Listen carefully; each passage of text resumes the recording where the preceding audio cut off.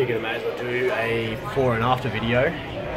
So I just landed in New Jersey. Did not feel like doing a video. And I said I'd post all the good and the bad.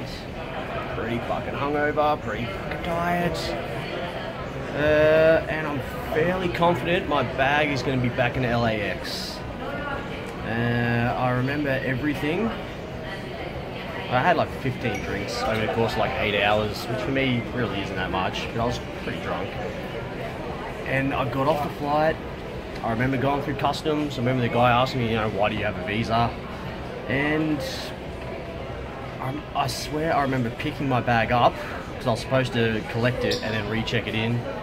And I remember picking it up, and the next thing I know, I'm walking around making some pretty funny videos uh, with no bag. Before this is before I checked in for my flight, but uh, to New Jersey. So uh, I, I hope it's here somehow. I really do. Um, about to go find out.